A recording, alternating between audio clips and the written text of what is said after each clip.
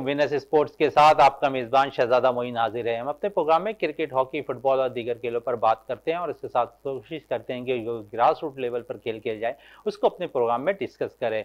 हमने देखा कि पाकिस्तान और हॉलैंड के दरमियान जो है तीन वनडे मैचेस की सीरीज़ हुई, जिसमें पाकिस्तान ने वाइट वॉश किया हॉलैंड की टीम को, जहाँ पर हमने देखा कि नसीम शाह को डेब्यू कराया गया पहले मैच में और उसने जो तीनों मैचेस में जो है बड़ी अच्छी बॉलिंग का मुजाहरा किया। आखिरी मैच में उन्होंने पाँच विकटें हासिल की, ज़बरदस्त बॉलिंग का मुजाहरा उन्होंने इस सीरीज़ के अंदर किया। दूसरी तरफ़ हमने दीगर प्लेयर्स को भी इस सीरीज़ के अंदर मौका दिया गया। आखिरी मैच में चार तब्दीलियाँ पाकिस्तानी टीम में की गई थी और उसके बाद हमने देखा कि एक अच्छा टारगेट तो ना दे पाई थी। 206 रन का दो रन करने थे हॉलैंड की टीम को, लेकिन पाकिस्तानी बॉलर ने बड़ी शानदार बॉलिंग का मुजाहरा किया और खासकर नसीम शाह के साथ साथ हमने देखा कि दूसरी तरफ़, दूसरे एंड से वसीम जूनियर ने बड़ा अहम किरदार अदा किया। इस मैच के अंदर, जबकि दीगर बैटर्स की अगर बात करें तो बैटर्स इस मैच में थोड़े से आउट ऑफ़ फॉर्म नज़र आए, क्योंकि फ़खर फ़खर की बात करें तो फ़खर ने बड़े ज़बरदस्त पहले मैच में सेंचुरी स्कोर की थी, दूसरे मैच में वो नाकाम रहे, तीसरे मैच में भी वो नाकाम होते हुए दिखाई दिए। दूसरी तरफ़ इस मैच के अंदर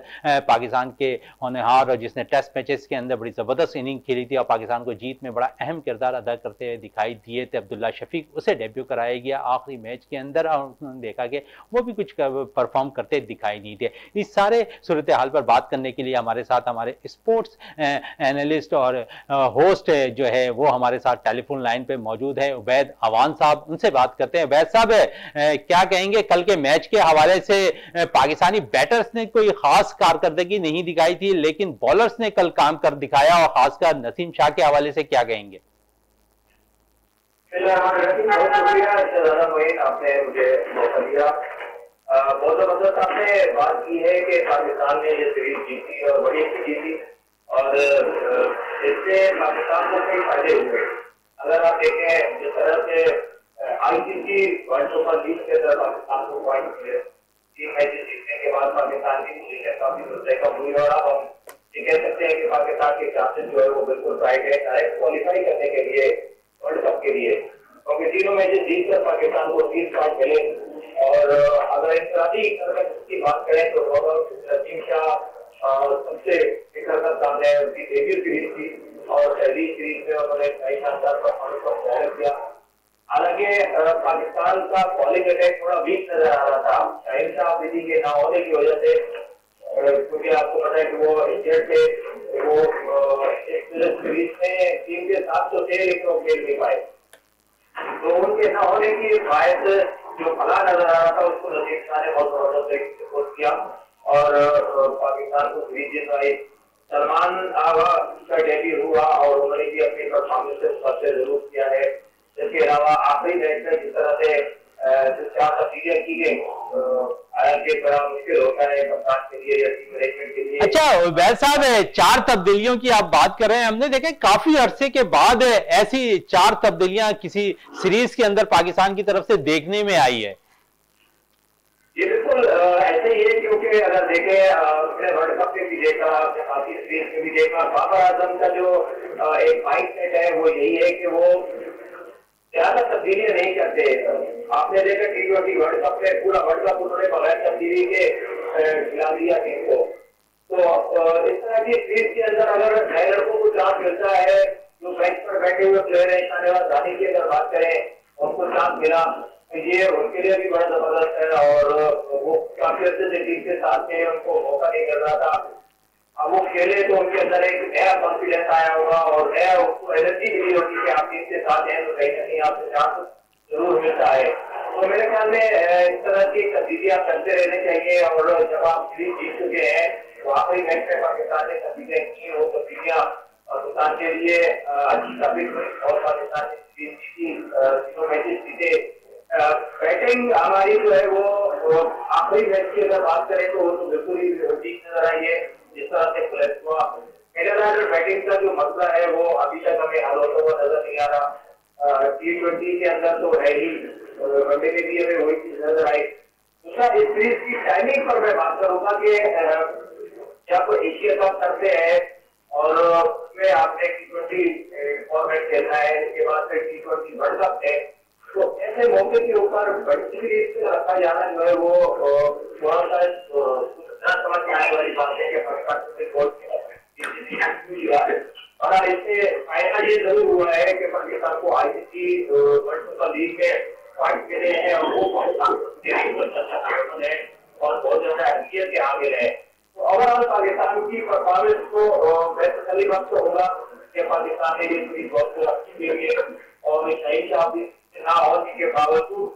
हमारा बॉलिंग अटैक एक तगड़ा बॉलिंग अटैक नज़र आया। बिल्कुल तगड़ा बॉलिंग अटैक नज़र आया।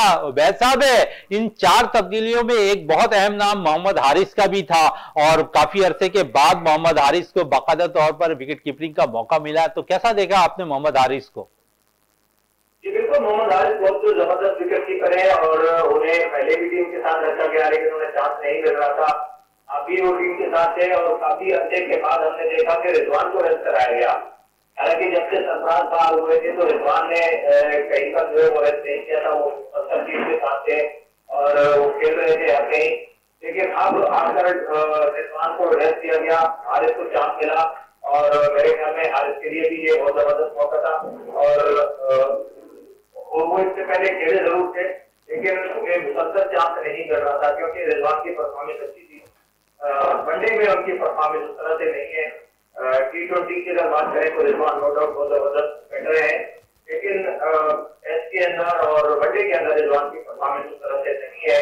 तो एक अच्छा डिसीज़न दिया टीम मैनेजमेंट ने कि एक आपने बैटो विकेट कीपर को टेस्ट किया और ख्याल में ये साइन टीम अच्छा वैद साहब, हम देखते हैं कि खासकर अगर मोहम्मद रिजवान और बाबर आज़म जिस किस्म के फॉर्म में खासकर बाबर आज़म की बात करें तो कल भी 91 रन स्कोर किए। बाबर आज़म ने जो टोटल पाकिस्तान ने सेट किया था, उसमें बड़ा अहम तो रोल था बाबर आज़म का। अगर ओवरऑल इस सीरीज़ पे देखें तो बाबर आज़म बड़े रन करते दिखाई दिया और जितनी भी अभी माजी में सीरीज़ हुई है, उसमें हमने देखा है कि बाबर आज़म का किरदार बड़ा अहम रहा है। उन्होंने काफ़ी रन स्कोर किया अगर बाबर आज़म रन नहीं करते तो टीम क्लैप्स करती होती भी नज़र आती है, क्या वजूहत है कि हम बाबर आज़म का मुतबादिल जो है अब तक तैयार करने में नाकाम नज़र आए जिस दिन अगर बाबर आज़म नहीं चलते तो उस दिन पाकिस्तान की टीम जो है स्कोर करने में बड़ा नाकाम नज़र आती है। बिल्कुल सही कहा आपने टीम की परफॉर्मेंस की परफॉर्मेंस को अगर देखें तो वो डामाडोल नज़र आती है। पहले की उसके बाद वो नाकाम रहे। सलमान पहले मैच में ज़रूर बाबर आज़म नज़र आ रहे हैं लेकिन एक चीज़ तो बाबर जी मैं कहूँगा कि उसने तमाम बोझ जो है बैटिंग का वो अपने सर पे ले लिया है वो अपनी चीज़ों को बांट नहीं रहा है वो दूसरे जो साथी खिलाड़ी हैं उनको अब तक ये सेट समझाने में कामयाब नहीं हो सकता उनका क्या रोल है? बाबर आज़म जो है वो तमाम रोल अपने ऊपर ले लेते हैं। जिसकी वजह से मैं ये क्या होगा कि टीम के ऊपर प्रेशर भी आता है। क्योंकि बाबर जब विकेट पर होते हैं तो वो रन बहुत ज़रूर करते हैं। खासतौर से फिफ्टी से पहले उनसे रन नहीं हो रहे होते और वो क्रिकेट पर अपना टाइम गुजार रहे होते हैं। जिसकी वजह से आज की जो जदीद क्रिकेट है, उसके अंदर आपको रन रेट को लेकर चलना होता है। या पहले कह रहे हैं तो आपका स्ट्राइक रेट जो है वो बहुत मानी रखता है। लेकिन बाबर आज़म जो है स्ट्राइक रेट की तरफ़ तवज्जो नहीं देते। स्ट्राइक रेट आपको अगर आप देखें से पहले तो वो बहुत ज़्यादा मुतासर तो नहीं होता। अगर वो सेवेंटी के स्ट्राइक रेट से खेल रहे हैं या एटी के स्ट्राइक रेट से खेल रहे हैं तो ये आज की जदीद क्रिकेट के अंदर जो है वो नहीं किया जाता लेकिन अच्छी बात यह है कि बाबर आज़म रन कर रहे हैं और रन का टीम को फ़ायदा आता है। लेकिन अगर आप आखिरी मैच में अगर आप देखते हैं कि टोटल एक तरफ़ और बाबर आज़म की एक तरफ़ तो बाकी जो बैट्समैन है उसको भी साथ लेकर चलना होगा और बाबर आज़म को उन्हें भी एतमाद देना होगा उन्हें बताना होगा कि आपने क्या करना है किस तरह करना है। सारा ज़ोर बाबर आज़म के ऊपर जो है वो टीम ज़्यादा लंबा सा नहीं चल सकती, क्योंकि अगर जैसे बाबर आज़म नहीं चलते तो फिर पूरी टीम बैठ जाती है। पूरी टीम बैठ जाती है। तो वैद साहब हमने इस सीरीज़ में जो है नसीम शाह के रूल में जो हमने देखा, एक फास्ट बॉलर हमें जो है वनडे का अच्छा नज़र आया। लेकिन अगर मिडिल ऑर्डर की जिस तरह आप भी ज़िक्र कर रहे हैं, कोई बाबर आज़म का मुतबादिल नज़र नहीं आ रहा मिडिल ऑर्डर की बात करें तो आप समझते हैं सीरीज़ के अंदर जो हमें काम करना था मिडिल ऑर्डर पर किसी बैट्समैन को परमानेंट करना था, लेकिन वो करते दिखाई नहीं दिया हम इस सीरीज़ के अंदर, क्योंकि हमें भी खुश आदिल शाह सलमान अली आगा और मोहम्मद नवाज़, ये बैटिंग करते हुए मिडिल ऑर्डर पे नज़र आए। आप सही कह रहे हैं, लेकिन सलमान आगा को साथ गया है और सलमान आगा का जो रोल था जो नहीं करना चाहिए था, वो मेरे उस तरह से नहीं कर पाए। बड़ा अच्छी बात ये है कि अगर किसी भी आप प्लेयर को चांस दें तो उसको एक या दो के ऊपर तो नहीं देखा जा सकता उसको टाइम देना पड़ता है। जब आप टाइम देंगे तो फिर पता चलेगा कि वो उसके अंदर कितनी एबिलिटी है वो क्या कर सकता है। अच्छा उबैद साहब उबैद साहब हमने देखा कि माजी में जो है, सरफराज अहमद भी टीम के साथ हुआ करते थे। बहुत से मौके ऐसे आए कि वहाँ पर भी चांस मिल सकता था। सरफराज को सीरीज़ हम जीत चुके होते थे, लेकिन उन्हें वहाँ पर मैनेजमेंट जो टीम मैनेजमेंट थी, उसे चांस नहीं दिया जाता। हमने देखा इस सीरीज़ के अंदर मोहम्मद हारिस को चांस दे दिया गया। तो सरफराज के साथ समझते हैं कि जाती की गई थी। मैं ये कहूँगा कि सरफराज अहमद का जो केस है, वो थोड़ा सा डिफरेंट है। वो इसलिए कि सरफराज का जो रोल है, वो अपना वो रोल उन्होंने उस तरीके से पूरा नहीं किया जब वो टीम के अंदर थे। जब वो वर्ल्ड कप 2019 में हमने देखा कि जब वो कप्तान थे तो वो उस जो है, वो सातवें आठवें नंबर पर आकर बैटिंग कर रहे थे। अगर एक बैट्समैन की फॉर्म नहीं है तो अगर आप ओपन नहीं कर सकते मिडल ऑर्डर नहीं कर सकते तो चौथे पाँचवें नंबर पे छठे नंबर तक तो आए। लेकिन उस टाइम भी हमने ये देखा कि सही मशरफ भी उससे पहले बैटिंग के लिए जा रहा था शादाब खान भी उससे पहले बैटिंग के लिए जा रहा था तो ये चीज़ें सरफराज के अगेंस्ट गई। आप भी अगर देखें सरफराज अहमद की उसके बाद परफॉर्मेंस अगर आप सीएसएल के अंदर देखें तो वो भी मुतासर नहीं है। अभी हाल ही में सरफराज कल उन्होंने थोड़ी सी अच्छी इनिंग खेली है सरफराज ने। लेकिन सरफराज की परफॉर्मेंस उस तरह की नहीं है जो कि होनी चाहिए थी में रही है तो अच्छा पिक टाइम गुजार चुके हैं सरफराज है। उबैद भाई, आखिरी सवाल है कि समझते हैं एशिया कप टी ट्वेंटी के लिए शाहिन शाह आफरीदी का ना होना पाकिस्तान के लिए नुकसानदेह साबित हो सकता है। आपको इंडिया के खिलाफ मैच में शाहिन की कमी बहुत ज़्यादा महसूस होगी, क्योंकि टी ट्वेंटी वर्ल्ड कप में शाहिन का बहुत ज़बरदस्त किरदार था इंडिया के खिलाफ मैच में। मोहम्मद हसनैन को उनके मुतबादल के तौर पर लिया गया है, और हसनैन के लिए ये सीरीज़ है। टाइम के बाद वो आ रहे हैं, और, अभी वो टीम के साथ नहीं थे, लेकिन अभी उनके ऊपर एक बार फिर एलिगेशन लगा था जब वो एक लीग के अंदर ऑस्ट्रेलिया में उसके ऊपर जब वो इशारे किए थे तो मेरे ख्याल में हसनैन को चीज़ों को साइड पे रखकर परफॉर्मेंस नहीं होगी और अगर उन्हें मौका मिलता है इसके लिए तो वो ज़रूर परफॉर्मेंस दिखा सकते हैं। शाह अफरीदी का ना होना बिल्कुल, शाहिन शाह आफरीदी का ना होना Asia T twenty world cup के लिए जो है नुकसानदेह हो सकता है पाकिस्तानी टीम के लिए। बहुत बहुत शुक्रिया विनेस स्पोर्ट्स में टाइम देने का, उबैद अमान साहब आपका। इस वक्त हमें स्टूडियो पे ज्वाइन कर लिया है हमारे स्पोर्ट्स एनालिस्ट जाफ़र हुसैन साहब ने। जाफ़र साहब क्या कहेंगे, पाकिस्तान ने सीरीज़ अपने नाम कर ली, बहुत सी खामियाँ इसमें नज़र आई इस सीरीज़ के अंदर। हमने देखा कि कुछ मौके नौजवान प्लेयर्स को भी दिए गए, जिसमें से हमने देखा कि नसीम शाह को मौका दिया गया तीनों मैच में और उन्होंने प्रूफ करके दिखाया है कि उन्हें मौका दिया जाए तो वो पाकिस्तानी टीम के रेगुलर प्लेयर्स वनडे के बन सकते हैं। तो कैसा देखा नसीम शाह के पहले बॉलिंग को? फिर हमारी बैटर्स ने एक दफ़ा फिर नाकाम होते दिखाई दिए। 206 रन स्कोर किए जिसमें 91 रन बाबर के थे। तो कैसा देखते हैं इस, इस सीरीज़ को ओवरऑल और बाबर आज़म की कप्तानी और बाबर आज़म की इनिंग्स के हवाले से? देखिए सबसे पहले तो सीरीज़ बड़ी अच्छी रही पाकिस्तान के लिहाज से और आपको मालूम है कि पाकिस्तान जो है ना ये जितने पॉइंट्स मिलेंगे इस सीरीज़ के जीतने के बाद जो है ना वो उसमें शामिल हो जाएँगे आपकी कारकर्दगी में और क्योंकि आईसीसी का पूरा एक चैंपियंस लीग का आपको मालूम है कि वो बिल्कुल इस पाकिस्तान 120 पॉइंट्स के साथ चौथे नंबर पर मौजूद है। मेरे ख्याल में तीसरे नंबर पर आ चुके हैं वो और दूसरा ये कि जिस तरह ये सीरीज़ खेली गई है नो डाउट बड़ा बेहतरीन खेली गई है पाकिस्तान के लिहाज से बहुत अच्छी रही। इवन इसमें मैं थोड़ा सा कहूँगा, क्योंकि ये अभी ज़रा हल्की टीम के साथ हमारे मैचेस थे। और इसमें अब आप देखें, कल का ही मैच देख लें। आपने 50 ओवर भी पूरे नहीं खेले और आपकी पूरी टीम आउट हो गई। यानी कि बाबर आज़म अगर नहीं चलता तो इट्स मीन के पाकिस्तान सिर्फ़ 115 रन बनाता। तो 91 रन सिर्फ़ बाबर आज़म के थे। दूसरी पूरी टीम के जो है ना 115 रन होते हैं। तो आप इससे अंदाज़ा लगाएँ कि एक प्लेयर के ना होने से कितना बड़ा नुकसान होता है हमें। अगर वो नहीं चला किसी मैच में या रिजवान नहीं चला रिजवान भी अच्छे फॉर्म में है अगर वो भी नहीं चले तो फिर टीम का क्या हाल होगा? दूसरा हम ये देख लें फिर हमारे बॉलर्स ने 197 रन दे दिए। तो बॉलर्स के रन देना जो है ना वो बड़ा नुकसान दे। आपको पता है कि इस विकेट पे पाकिस्तानी बॉलर्स जो है अगर देखें तो हॉलैंड के बॉलर्स के मुकाबले में हमने सिर्फ़ जो है नौ रन से कामयाबी जब हम हासिल कर रहे हैं तो हमारे बॉलर्स का किरदार क्या रहा? क्योंकि अगर हम देखें तो हमारी बॉलिंग पिक बॉलिंग अटैक खेल रही थी इस वक्त।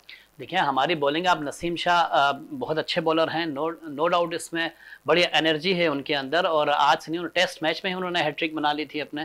तो ये उनको मौका मिलना चाहिए। असल में वो थोड़ा स्लो स्टार्टर हैं। पहले मैच में इतना अच्छा परफॉर्म नहीं कर पाते दूसरे में हल्का फुल्का करते हैं लेकिन तीसरे चौथे में जिस तरह फाइव डे मैच होता है उसमें फिर वो रिदम में आ जाते हैं नसीम शाह। तो इस तरह उन्होंने आज मुजाहरा किया उस मैच के अंदर बिल्कुल मैं यही कहना चाह रहा हूँ आखिरी मैच में उन्होंने फिर पंजा मारा। ये बड़ी बात है। और धानी को मौका मिला और बड़ी खुशी की बात है कि धानी को मौका मिला और मौके की बात कर रहे हैं जाफ़र साहब तो काफ़ी अरसे के बाद पाकिस्तानी टीम मैनेजमेंट ने एक बड़ा दिल रखकर फैसला किया। चार तब्दीलियाँ टीम के अंदर कर दी। आखिरी मैच के अंदर गो के माहरीन को शायद इस बात का अंदाज़ा नहीं था कि इतनी बड़ी तब्दीलियाँ चार हो जाएँगी। देखिए मेरे ख्याल में जो आखिरी बार चार तब्दीलियाँ एक मैच में की थी वो मिसबा हक ने 2013 में की थी। वो भी जिम्बाब्वे के खिलाफ। तो उसके बाद एकदम से ये चार तब्दीलियाँ करना ये अब मैंने देखा है, क्योंकि मेरे ख्याल में सात आठ साल बाद ये इतनी बड़ी तब्दीली की गई है। लेकिन अच्छी तब्दीली है, क्योंकि मौका मिलना चाहिए था बेंच स्ट्रेंथ को चेक करना था। आपके पास कोई चेक करने का टाइम नहीं मिल रहा था तो यही मौके होते हैं कि इसमें आप चेक करें, लेकिन एकदम से चार प्लेयर्स को चेक करना, ये भी एक हैरानकुन बात होती है। नो डाउट हॉलैंड ने बड़ा अच्छा खेला इसमें कोई शक नहीं है, उनकी टीम भी बड़ी परफेक्ट थी। और आप ये देखिए, उन्होंने तीनों मैचेस में जो है ना अपने स्पिनर से अटैक किया है। और हमारे सारे फास्ट बॉलिंग तो हम, हमारा एक असासा है ही कि हम उसी पे चलते हैं और हमारे फास्ट बॉलिंग ने कई मैचेस जितवाए हमें। तो ये एक अच्छा रिथम था कि हमारा जो फास्ट बॉलिंग से हमारे थोड़ी सी कमी महसूस हुई है। आपको पता है कि शाहिनशाह अफरीदी के ना होने से बड़ा नुकसान है हमारी टीम बिल्कुल जाफ़र साहब शाहिनशाह अफरीदी के हवाले से भी बात करेंगे। इस वक्त ब्रेक के लिए कहा जा रहा है। जाफ़र साहब कहते हैं नज़र आए कि 2013 के बाद जो है पाकिस्तानी टीम मैनेजमेंट ने कोई चार तब्दीलियाँ की थी। उन्होंने कहा कि मिसबाउल हक की कप्तानी में 2013 में चार तब्दीली की गई थी जम्बावे के खिलाफ और उसके बाद अब हमने देखा कि 2022 में जो है, चार तब्दीलियाँ जो है बाबर आज़म की क्यादत में होती हुई नज़र आई। इस वक्त ब्रेक के लिए कहा जा रहा है, ब्रेक से वापस आते हैं तो गुफ्तु को मजीद जारी रखते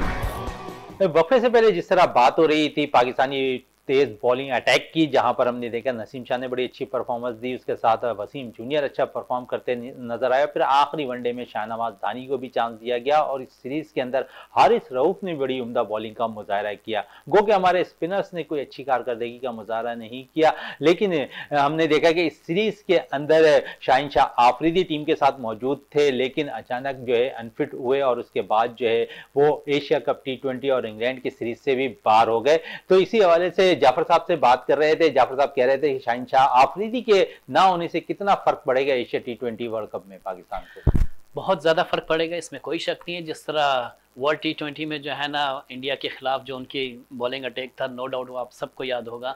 आउट क्लास कर दिया था, वहीं से कमर तोड़ दी थी इंडिया की, आपके सामने, आप देखा होगा आपने यकीनन मैच बड़ा फ़र्क पड़ेगा शाहिन शाह अफरीदी के ना होने से लेकिन इसके अलावा अगर आप देखें इंडियन टीम को तो बमरा भी नहीं है उनकी टीम में वो भी इंजरी का शिकार हो गए हैं तो दोनों तरफ़ से जो है ना मैन फास्ट बॉलर जो है ना वो इंजरी का शिकार है। अब अब बात आ जाएगी बैट्समैनों पर ज़्यादातर रिलाई किया जाएगा दोनों टीम की तरफ़ से बैट्समैन बैट्समैन तो पहले भी करते थे लेकिन यह है कि एक टफ मुकाबला देखने को मिलेगा क्योंकि एक बड़ा टूर्नामेंट बैटर्स की आप बात कर रहे हैं अगर देखें तो इंडियन बैटर्स बड़ी अच्छी परफॉर्म करते नज़र आ रहे हैं। अभी जम्बावे के खिलाफ भी बड़ी ज़बरदस्त उन्होंने मुजाहरा किया। बैटिंग का, लेकिन अगर हम अपनी तरफ़ देखते हैं, पाकिस्तानी टीम के अंदर तो बाबर आज़म के अलावा मोहम्मद रिजवान के अलावा कोई भी ऐसा बैटर नहीं है जो परफॉर्म करता नज़र आ रहा है। क्योंकि थोड़ी बहुत हमने देखा कि सीरीज़ के अंदर मिडल ऑर्डर पर चांस दिया। सलमान अली आगा को किसी मैच में वो आठवें नंबर पर खेले, किसी नंबर पर टू डाउन खेलते नज़र आए। तो समझते हैं कि हमने तो मिडल ऑर्डर तैयार ही नहीं किया इस सीरीज़ के अंदर, जहाँ हमें सबसे ज़्यादा वीक पॉइंट था हमारा।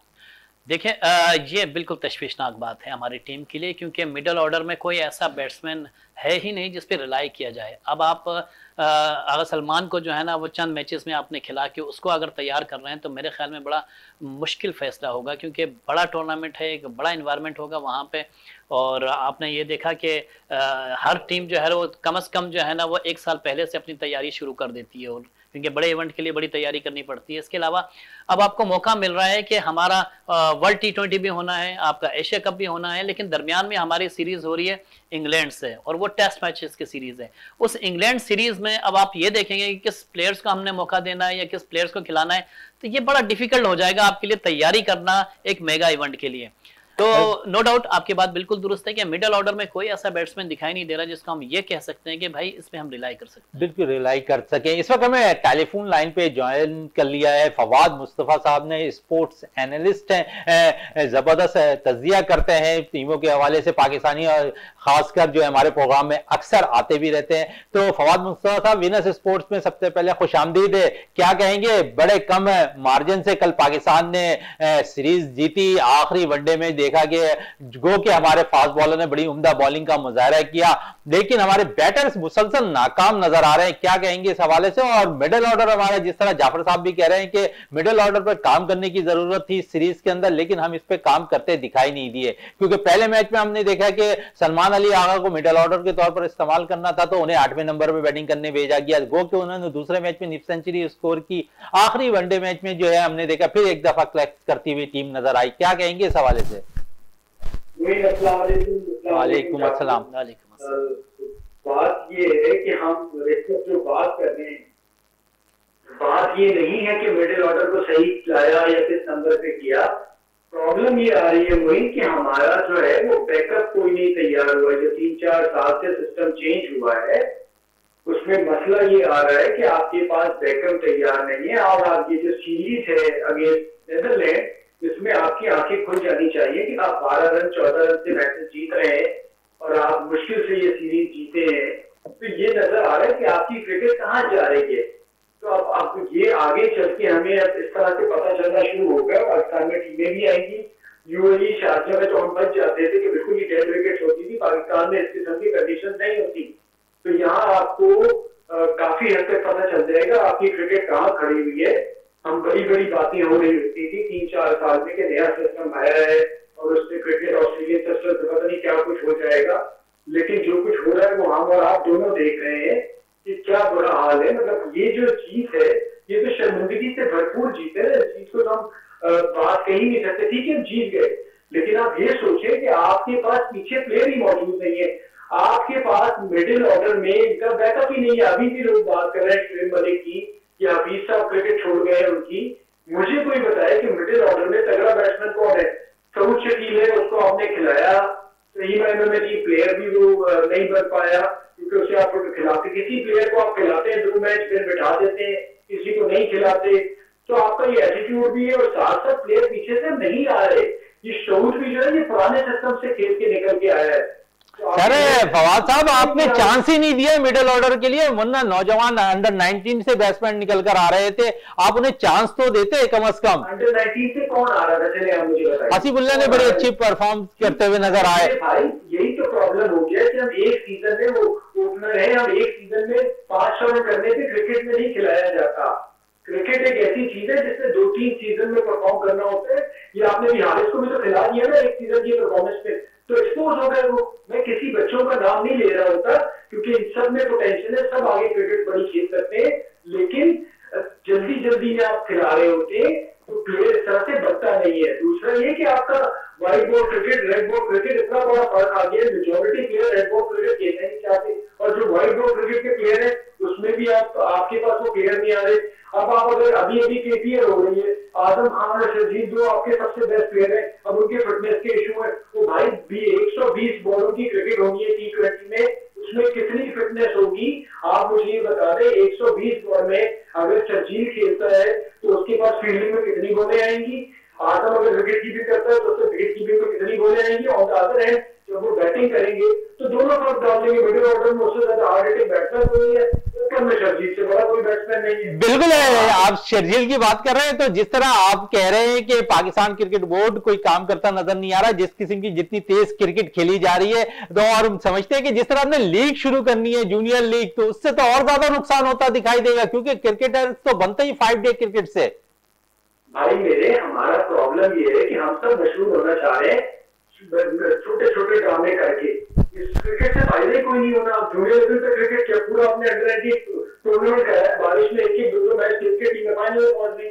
हमारे प्लानिंग ही नहीं है। और वो बेवकूफ़ बनाने के सौ लड़के आपने ले लिए और बच्चों को क्या ट्रेनिंग कर रहे हैं, क्या कुछ कर रहे हैं सिर्फ़ परसेंट तो अगर आप क्लब क्रिकेट को सही तरीके से ऑर्गेनाइज करते, उसको किसी तरह ग्रास रूट लेवल पे काम होता है, जो क्लब क्रिकेट खेलते पूरे पाकिस्तान में प्लेयर आने शुरू हो जाते। हमेशा पाकिस्तान में प्लेयर क्लब क्रिकेट ने दिया है। दूसरा ये था कि डिपार्टमेंट क्रिकेट आपकी बंद हो गई, जो और प्लेयर्स को ग्रूम करती थी। तो आपने दोनों चीज़ें खत्म कर दी। आप देख लीजिए कि वक्ती तौर पर हम अच्छा खेलते हैं तो हम खुश हो जाते हैं। अब एशिया का बोला है कि इंग्लैंड में आना है वर्ल्ड कप बोला है, देखिएगा आप काम करें। इंडिविजुअल प्लेयर है हमारे पास बाबा बहुत अच्छा प्लेयर है शाहीन बहुत अच्छा फास्ट बॉलर है। अब शाहीन नहीं है तो रिप्लेसमेंट नहीं मिल रही। तो बिल्कुल प्रॉब्लम रहेगी हमारे साथ। टेलीफोनी लाइन पे मौजूद रहिएगा। फवाद साहब, जाफ़र साहब मौजूद है स्टूडियो में। जाफ़र साहब, जिस तरह फवाद साहब कह रहे हैं कि बहुत ज़्यादा मुश्किल क्योंकि हमने बैकअप तैयार नहीं किया। आपसे भी कुछ देर पहले बात ही हो रही थी बैकअप के हवाले से। तो समझते हमारे पास बड़ा टाइम था, लेकिन हमने उस पर तवज्जो नहीं दी, क्योंकि हम छोटी छोटी चीज़ों पर चले गए। कभी हम जो है माजी के जो लेजेंड प्लेयर उनकी तरफ़ काम करते दिखाई दिए। गोगे अच्छा काम हो रहा है, लेकिन जिस तरफ़ तवज्जो देनी चाहिए थी, उस तरफ़ पाकिस्तान क्रिकेट बोर्ड ने तवज्जो नहीं की। हमने प्लेयर्स बनाए नहीं है, बिगाड़े बहुत हैं। हमने निकाला बहुत है टीमों से। हमने जो अच्छा खेल रहा होता था, उसको खिलाते नहीं थे। इस तरह के वाकयात बहुत ज़्यादा हुए और खासतौर पे मैं ये कहूँगा 2015 के बाद से जो है ना, ये सिलसिला तवातिर के तौर पे चलता रहा है। फवाद भाई ने बिल्कुल राइट बात की है, क्योंकि हमने बैकअप प्लान ही नहीं किया। कोई तैयारी नहीं है हमारी के हमारे पीछे कौन और प्लेयर्स अगर जिस तरह मिसबा और यूनस गए थे, उसके बाद कौन से प्लेयर्स थे? आपके असद और अजहर थे, उन पर रिलाय किया गया, उनको भी खिलाया गया काफ़ी हद तक। अब जो है ना वो उनको भी बाहर कर दिया गया। तो मकसद ये है कि इसमें कोई शक नहीं है कि हमारे पास जो है ना वो बैकअप प्लान है ही नहीं। बैकअप में कोई प्लेयर्स ही नहीं है जो कि एक बड़े इवेंट की जो है ना वो निशानदेही कर सकें कि इस इवेंट पे ये प्लेयर जो है ना वो चल सकेगा। ये बड़ा मुश्किल है कि हम लोग जो है ना एक सीरीज़ जीतने वो भी हल्की टीम के साथ खेल लिया तो उसके साथ जीत गए तो हम खुश हो गए। ऐसा नहीं होना चाहिए। आगे जो सीरीजें आ रही हैं, इसमें कोई शक नहीं है कि इंग्लैंड से बड़ा टफ मुकाबला होगा। हमारे पास बेसिकली हर टीम ने, हर मुल्कों ने अपनी टीमें अलग बना ली हैं। आपकी टेस्ट टीम अलग है टी ट्वेंटी अलग है वनडे अलग है, हर एक की टीमें अलग हैं। अब आप देख लें हमारे पास एक ही टीम है जो टी ट्वेंटी भी खेलती है टेस्ट भी खेलती है और वनडे भी खेलती है। हमारी टीम की सिलेक्शन ही अलग है ना सर हम तो वनडे के जो परफॉर्मर होते हैं उसको हम जो है वनडे मैचेस खिला देते हैं टेस्ट मैचेस खिला देते हैं। ये नुकता नज़र तो चलता रहता है हमारी देखिए हमें देखो पीसीबी को करना ये चाहिए था जिस तरह माजी में हुआ करता था। ए टीम बनती थी ए टीम के बाद आपकी मेन टीम होती थी पाकिस्तान की। इसके तो अलावा आज भी है जाफ़र साहब। कौन सी टीम है? हमें बता दें, वो शाहीन नाम रख के उसने कितने मैचेस खेल लिए, कहाँ नज़र आती है? मुझे तो नज़र नहीं आती, अगर आपको नज़र आती है तो बताइए आप। फवाद भाई को शायद आती हो, पूछे फवाद साहब, पाकिस्तान, जिस तरह जाफ़र साहब कह रहे हैं कि पाकिस्तान शाहीन के नाम से टीम बनी हुई ए टीम जिस तरह माजी में पाकिस्तान ए टीम हुआ करती थी, अब ऐसा होता दिखाई नहीं दे रहा। पाकिस्तान शाहीन के नाम से ज़रूर टीम बनी हुई है तो कैसा देखते हैं? उसमें जो प्लेयर्स मौजूद है गो के नौजवान प्लेयर्स पर मुश्तमिल है। हमने देखा, उसमें भी बड़ी तब्दीलियाँ हुई। रोयल नजीर पाकिस्तान ए शाहीन की कप्तानी किया करते थे, उन्हें साइडलाइन लगा दिया गया और अब जो है, सऊद शकील उस टीम की क्यादत कर रहे हैं। क्या कहेंगे इस हवाले से? भाई, जब हमारा दिल चाहता है, हम शाहीन को बसेरा करा देते हैं। तो शाहीन सूरा होता है।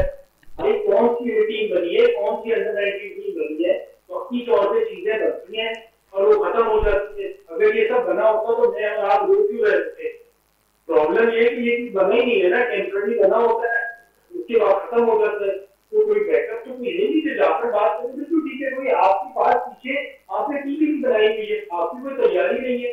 आपका फोकस ही नहीं सो वो दोनों यार, वो दोनों हमने, मैं आपको बता रहा हूँ, जो ओलंपियंस ने हॉकी के साथ किया है, वो हमारे मुंबई के जो है क्रिकेट के साथ कर रहे हैं। और ये अल्लाह ना करे जो उनमें खास या गलत साबित वो दोनों आ रहे हैं। बिल्कुल नज़र आ रहा है लेकिन हम दूसरी तरफ़ देखते हैं कि जो है शाहिन शाह आफरीदी के आउट होने से जो मोहम्मद हस्तैन को टीम में शामिल किया गया समझते हैं कि ये एक अच्छा फैसला है क्योंकि हम देखते हैं कि अभी जो है वो प्रीमियर लीग भी खेलते हुए नज़र आ रहे थे मोहम्मद हस्तैन वहाँ पर भी उन पर काफ़ी नुकताचीनी हुई तो ये पाकिस्तान क्रिकेट बोर्ड का मैनेजमेंट का अच्छा फैसला है कि एशिया कप टी ट्वेंटी के लिए उस, उसका नाम लिया टीम के साथ है अगर गो के अगर मीर हमजा दूसरी तरफ़ देखें तो बड़ी अच्छी कारकर्दगी का मुजाहरा कर रहे थे? उन्हें टीम में अगर ले जाया जाता तो शायद अच्छा होता। ये हम तो समझ नहीं आता डोमेस्टिक क्रिकेट में क्यों पैसे करते हैं? हसनैन अभी वापस आ रहा है, अपने एक प्लेयर करा के हम हंड्रेड खेल में। मीर पाकिस्तान को सारी क्रिकेट खेल रहा है खेले जा रहा है। भी बहुत अच्छा खेला, लेकिन आपने उसे नहीं सेलेक्ट किया। तो मेरा सिर्फ़ कहना है कि हम सारे टूर्नामेंट से वो करोड़ों रुपए खर्च करती है ये बंद कर दे। मैच पे रखी और लड़कों को कहे कि मैच से सेलेक्ट कर ले दूसरा और दूसरे मुल्कों की मैचेस देख के प्लेयर बना दिया गया तो कोई तरीका क्या होता है ना था नहीं है। हो सकता है हसैन बहुत अच्छा करते हैं मुझे हसैन की तो भी बात ही गया ना। तो इतनी जल्दी क्या हो रही है? इतनी तो पीछे आपके दरअसल डोमेस्टिक क्रिकेट में परफॉर्म करके तैयार हो रहा है। डोमेस्टिक क्रिकेट को बंद कराते हैं, मेरे को क्यों हम डोमेस्टिक क्रिकेट कराते हैं? जब वहाँ से लड़के खिलाते हैं। बिल्कुल, इसी पे जावर साहब से बात करते हैं। जावर साहब, जिस तरह फवाद साहब कह रहे हैं कि डोमेस्टिक क्रिकेट पे पैसे जाया करने से बेहतर है कि हम जिस तरह की परफॉर्मेंस पीएसएल होती है, वहाँ से अच्छे जो पिक कर लें, वहाँ से प्लेयर तो समझते हैं कि डोमेस्टिक क्रिकेट पे पाकिस्तान क्रिकेट बोर्ड पैसे जाया करती नज़र आ रही है। भाई, मुझे तो ये लग रहा है, जो केपीएल हो रहा है, वो भी आपका जो है ना, वो डोमेस्टिक ही हो रहा है। इसमें कोई नई चीज़ तो नहीं कोई बाहर के नहीं है। जो परफॉर्म करेगा परफॉर्म कर रहा है उसको ले टी ट्वेंटी की बुनियाद पे आपने लेना है तो इसी तरीके से लेना लें। देखें एशिया कप के लिए हसन हसन को जो शामिल किया गया है हसन अली कहाँ है? हसन अली को भी आप कह रहे थे कि वो आराम दिया गया ना सर। आराम दिया गया है। आपने ये कहा कि आप डोमेस्टिक खेलें। डोमेस्टिक सीज़न कल से शुरू हो रहा है आपके पाकिस्तान में। और आप उसको डोमेस्टिक खिला रहे हैं। जो खेलने गया हुआ इंग्लैंड में उसको आप वापस बुला रहे हैं। आपको लेफ़्ट हैंडर जिस, जो कामयाब बॉलर्स होते हैं, आपने मीर हमजा को क्यों नहीं देखा आपने? आप देख रहे हैं ना केपीएल में अच्छी परफॉर्मेंस दे रहे हैं, वो भी डोमेस्टिक इवेंट है, उसमें भी अच्छी परफॉर्मेंस है, उसको देखते हैं ना आप। अब हसन, हसनैन जो है वो काफ़ी अरसे से आउट हैं। खेल रहे ज़रूर हैं, लेकिन वो इतनी बड़ी क्रिकेट नहीं खेले जिसको हम ये कहें कि भाई उनको एकदम से आप शामिल कर लें। तो ये एक फैसला जो है ना, मेरी तो समझ में नहीं आया कि आपने हसनैन को बुला लिया। नो डाउट अच्छे बॉलर हैं। सब कुछ है उनके पास स्पीड भी है, आपके जो है ना आउट भी करते हैं, सब कुछ करते हैं, लेकिन भाई जब आपने इतने नए प्लेयर्स खिलाए खिलाए हैं तो आप मीर हमजा को भी शामिल कर लेते हैं, क्योंकि लेफ़्ट हैंडर का बड़ा रोल होता है, और खासतौर पे दुबई जैसी विकटों पे वहाँ पे लेफ़्ट हैंडर ज़्यादा कामयाब होते हैं। बिल्कुल, इसकी ये बात मैं फवाद साहब से भी बात करता हूँ। फवाद साहब लेफ़्ट हैंडर बॉलर का बड़ा अहम रोल होता है, खासकर दुबई जैसी विकटों पर, जिस तरह जाफ़र साहब कह रहे हैं। तो क्या समझते थे कि ये जो डोमेस्टिक में खुद आप कहते हुए नज़र आ रहे हैं कि पैसे पाकिस्तान क्रिकेट बोर्ड जाया करता हुआ नज़र आ रहा है। तो कम अज कम जो नौजवान बॉलर हैं, उन्हें तो तरजीह देनी चाहिए थी।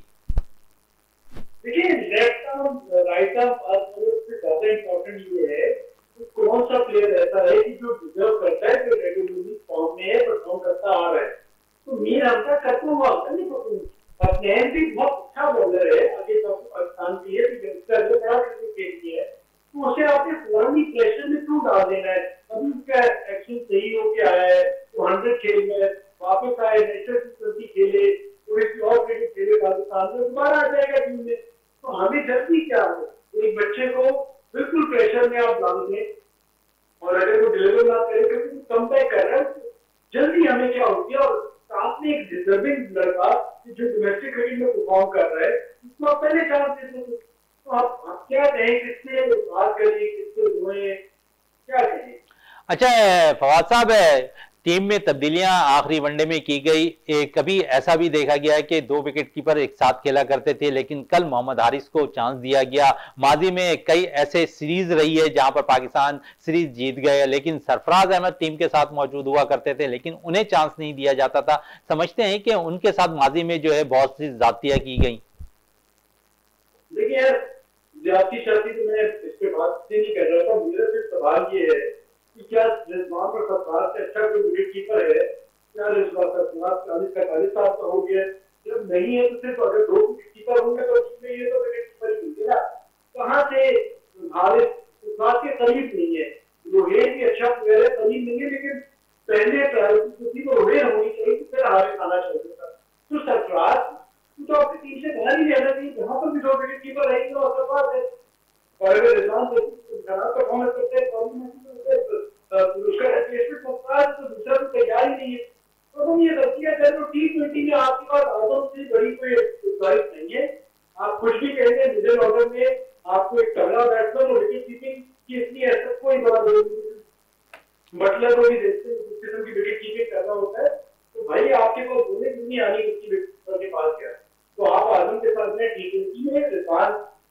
लेकिन आज़म पास अच्छा आज़म की बात हो रही है, अब टी ट्वेंटी एशिया कप में हम जा रहे हैं टीम जा रही है हमारी तो समझते हैं कि हमने तो एक ही मोहम्मद रिजवान पर टीम जा रही है विकेट कीपर के तौर पर। हमने रिज़र्व विकेट कीपर कोई भी नहीं रखा है टी ट्वेंटी स्कॉट के अंदर गो के करीब है, दुबई हम फौरी तौर पर बुलवा सकते हैं, लेकिन समझते हैं कि मैच के दौरान अगर इंजर्ड हो जाते हैं, अल्लाह ना करे, मोहम्मद रिजवान तो फिर उनका नेमल बदल किसको देखेंगे? खुशदिल शाह विकेट कीपिंग करते नज़र आएँगे, क्योंकि खुशदिल शाह जो है मिडिल ऑर्डर पर बैटिंग भी करते हैं टी ट्वेंटी में तो समझते हैं कि उन पर फ़र्क पड़ेगा खुशदिल शाह पे? नहीं, यार, हमेशा किस्म के टूर्नामेंट में एक ही विकेट कीपर जाता है और आपको पहले साल से डेढ़ घंटे की खिलाएँगे तो विकेट कीपर को इतना बड़ा इशू होता, अगर एक मैच में भी हो गए तो अगले मैच में आ जाता है रिप्लेसमेंट तो वो एक इशू मुझे ज़्यादा लगता नहीं है लेकिन अगर दो विकेट चाहते तो दूसरे होना चाहिए आदमी को देना चाहिए तो उसके अलावा कोई और आपका चॉइस बिल्कुल, बहुत बहुत शुक्रिया, फवाद मुस्तफ़ा साहब, आपका विनर्स स्पोर्ट्स में टाइम देने का। जाफ़र साहब विकेट कीपर के हवाले से बात हो रही है। रोयल नज़ीर, आज़म खान, हसीबुल्ला, सरफराज अहमद, मोहम्मद रिजवान मोहम्मद हारिस, हमारे पास बेशुमार जो विकेट कीपर निकल कर सामने आए। तो समझते हैं कि जिस तरह फवाद साहब कह रहे थे नहमुल बदल के तौर पर अगर लेके जाना था पाकिस्तान के बाद, नंबर वन दो, दूसरे नंबर पर मौजूद हैं सरफराज अहमद। तो उनके साथ कहीं ना कहीं तो जाती हो रही है जाफ़र साहब। देखिए, सरफराज के साथ ज्यादती तो 2019 से हो रही है। और अभी तक चल रही है आपके सामने है। आ, उनके साथ तो ये सिलसिला चल ही रहा है। आप क्या कह सकते हैं इसमें ज़्यादा तो हो रही हैं लेकिन बात यह है कि आपको बड़ी अच्छी सीरीज़ मिली है इंग्लैंड के खिलाफ तीन टेस्ट मैचेस खेलने के लिए। उसमें आप बैकअप के तौर पे किसी विकेट कीपर को आजमाएँ। बड़ा अच्छा रहेगा किसी नौजवान को आप कह रहे हैं नौजवान पे हमारा ज़्यादा इनसार है। कर लें आप। नौजवानों पर निसार कर लें उनको शामिल कर लें लेकिन डोमेस्टिक में जो परफॉर्म करते हैं ना जाफ़र साहब उन्हें फौरी तौर पर टीम में शामिल किया जाए। जिस तरह फवाद साहब कह रहे थे कि डोमेस्टिक पे हमारी कोई तवज्जो नहीं होती हमारी जो है लीग्स पे ज़्यादा तवज्जो होती कि उन प्लेयर्स लीग में जो परफॉर्म करें वो टीम में आ जाए। तो डोमेस्टिक के जो प्लेयर्स हैं वो तो शायद जो है साइड लाइन ही नज़र आते हैं। देखिए डोमेस्टिक पे आज से नहीं ये गुजशत पच्चीस सालों से नज़र नहीं होती। परफॉर्मेंस जो है ना वो डोमेस्टिक की होती है प्लेयर्स की नो डाउट इसमें कोई शक नहीं है, लेकिन जब वो खिलाड़ी किसी को सेलेक्ट करते हैं तो वो अपने मनमानी मनमानी खिलाड़ी को ले आते हैं। और जो रह जाता है, वो परफॉर्मर रह जाता है डोमेस्टिक का। तो मैं ये नहीं समझता कि वो उसमें से सेलेक्ट करेंगे, क्योंकि पाकिस्तान का ये ये हाल है। पीसीबी ने कोई ऐसा क्राइटेरिया बनाया नहीं है कि उसमें से हम किसी प्लेयर को सेलेक्ट करके हम लेकर आए। हाँ हम ये करते हैं कि हमारा प्लेयर अगर मेन टीम का कोई प्लेयर जो है ना, वो फॉर्म में नहीं है तो उसको कहते हैं डोमेस्टिक खेलो। ये मकसद है लेकिन किसी मैंने नहीं देखा कि इतने अरसे से इतने बड़े बड़े प्लेयर्स रहे इतने अच्छा परफॉर्म करते रहे। अभी कुछ दिन दो दो साल पहले की बात है गुलाम क्या नाम था गुलाम कामरान गुलाम। कितना अच्छा परफॉर्म अभी भी उनके हाईएस्ट स्कोर है। क्यों नहीं रखते टीम में? लें उसको आप शामिल करें। नहीं करेंगे कभी भी। लेकिन अगर ले तो मुकम्मल जो है सीरीज़ दें उन्हें। जिस तरह आपने सलमान अली आगा को पूरी सीरीज़ दी उन्होंने परफॉर्म किया गो के उस पर नुकताचीनी होती हुई ज़रूर दिखाई दी। लेकिन प्रॉपर जो है ना चांस देना चाहिए। आप एक मैच दो मैच खिलाकर साइड लाइन कर देते हैं फिर उनका नाम ही नज़र नहीं आता। ये तो हमारे सिलेक्शन का म्यार है। देखिए मैंने पहले भी आपको बताया था कि कॉन्फिडेंस देना होता है प्लेयर्स को। किसी भी खिलाड़ी को आप टीम के साथ रखते हैं ना उसको कॉन्फिडेंस दिया जाता है। पहले आप जो है ना कॉन्फिडेंस देंगे टीम के साथ रखेंगे, फिर खिलाएँगे, तब खिलाड़ी परफॉर्म भी करेगा। ऐसा नहीं होता कि आप खिलाड़ियों को मीडिया के प्रेशर में या किसी की सिफारिश पे आप टीम में ले लें और उसको जो है ना बेंच पे बिठाए रखें, उसको टीम मैनेजमेंट कोई कॉन्फिडेंस नहीं दें। ये बड़ा मसला होता है, खिलाड़ी को अपने आप को प्रूफ करने के लिए बड़ा एतमाद चाहिए होता है। कप्तान का एतमाद चाहिए होता है, आपको जो है ना टीम मैनेजमेंट का एतमाद चाहिए होता है। तब जाके जो है ना खिलाड़ी परफॉर्म करता है। अब आगा सलमान को जो मौका मिला है नो डाउट इसको सपोर्ट किया जा रहा है, हमें नज़र आ रहा है। पीसीबी सपोर्ट कर रहा है, हर लिहाज से कर रहा है। तनकीदें आप कितने भी कर लें, लेकिन जिसको खिलाना होता है, जिसको शामिल करना होता है, उसको कर लेते हैं। शकील सऊद शकील को शामिल नहीं करना था, उन्होंने बिल्कुल तवज्जो नहीं दी। पीसीबी जो है ना, खुद ही आपके कोई ऐसा जवाब ही नहीं देता था। मीडिया जितना शोर कर लेता था कि भाई इसको खिलाएँ, पीसीबी का कोई जवाब नहीं आता था। तो यह मिसालें हैं हमारे सामने।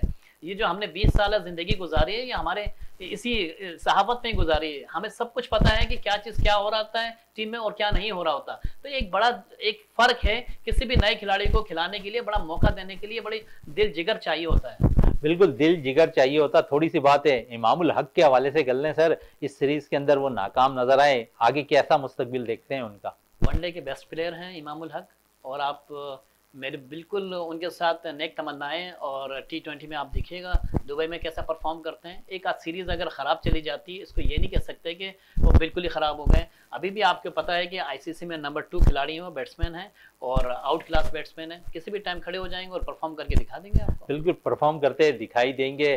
तो परफॉर्म तो माजी में बहुत से क्रिकेटर्स कराची के भी करते नज़र आए। टीम सिलेक्शन उनकी होती नज़र नहीं। आप सबसे अहम मिसाल खुर्रम मंजूर की अगर देख लें तो माजी में बड़े सेंचुरियाँ स्कोर की लेकिन उन्हें चांस भी दिया गया। असद शफीक उन्हें भी चांस दिया गया। लेकिन जो अब इनकमिंग प्लेयर्स हैं समझते हैं कि उन्हें जो मौका दिया जाए वो भरपूर अंदाज में दिया लेकिन मैं सिर्फ़ ये कहूँगा असद शफीक हो गए या खुर्रम मंजूर हो गए इनको मुकम्मल चांस मिला है। और उस दौर में चांस मिला है जब कोई खिलाड़ी होता नहीं था कि भाई उस कैलेबर पर खेल सके। अगर कराची में किसी के साथ ज़्यादा हुई है तो वो सरफराज के साथ हुई है। उसको गलत तरीके से निकाला, उसको गलत तरीके से आपने जो है ना वो कप्तानी से हटाया गया। तो ये चीज़ जो है ना मैं समझता हूँ कि उसके साथ ज़्यादा हुई है, जो कि होनी नहीं होनी चाहिए थी। अब बाकी जो प्लेयर्स हैं, मिसाल के तौर पे आप सऊद शकील, उसको तो मौका ही नहीं मिला। उसको साथ रखा, बेंच पे बिठाया और छोड़ दिया। उसमें कोई शक नहीं है उसको मौका मिलना चाहिए था। जिस तरह आगा सलमान को मौका मिल रहा है उसी तरह उसको भी मौका देना चाहिए था हर टीम के खिलाफ। अच्छा हर टीम के खिलाफ चांस देना चाहिए था। कप्तानी के हवाले से थोड़ी सी बात कर लें। जाफ़र हुसैन साहब बाबर आज़म कप्तानी कर रहे हैं। हम देखते हैं कि शादाब खान वाइस कप्तानी करते हुए टीम में नज़र आते हैं। तो कहीं रोल वाइस कप्तान का तो कहीं पर भी नज़र नहीं आया बाबर के अलावा। देखिए जब एक मेन कप्तान होता है तो वाइस कप्तान सिर्फ़ मशवरे ही दे सकता है। कप्तान को अगर वो चाहे तो। अगर वो डिसीज़न ले रहा है कप्तान तो फिर कप्तान अपना चलाता है और चलाना चाहिए, क्योंकि उस पर रिलाई करती है, पूरी टीम उसी पर रिलाई कर रही होती है। जहाँ कप्तान को ज़रूरत होती है कि भाई अब मुझे किसी के मशवरों की ज़रूरत है, किसी बॉलर से मशवरा करना है या किसी वाइस कप्तान से मशवरा करना है अपने, तब वो ले सकता है। अदरवाइज़ अगर कप्तानी सही हो रही है तो वो चल रही होती है। कप्तानी सही चल रही है तो सही हो रहा है लेकिन हम देखते हैं कि टेस्ट मैच में थोड़ी से फंसते हुए ज़रूर दिखाई देते हैं बाबर आज़म। देखिए मैं ये कहूँगा मुझे बाबर आज़म की कप्तानी बिल्कुल पसंद नहीं है। उसमें कोई ऐसी चीज़ है ही नहीं जिसमें हम कहें कि भाई इसकी ये कप्तानी कर रहा है। जो प्लान दिया जाता है मैनेजमेंट की तरफ़ से वो वो कर रहा होता है। मुझे तो ऐसा लग रहा है। अगर कप्तानी होती तो मैं समझता कि हाँ भाई इसमें कोई चेंजेस हो रही है इसमें कोई आ, किसी बैट्समैन को फंसाने का कोई तरीकेकार हो रहा है। उसमें वो नज़र ही नहीं आता। आपको एक टीम मैनेजमेंट ने जो है ना एक प्लान बना के दे दिया है। भाई ये बॉलर इस टाइम बॉलिंग करेगा, ये बैट्समैन इस टाइम बैट्समैन बैटिंग करेगा।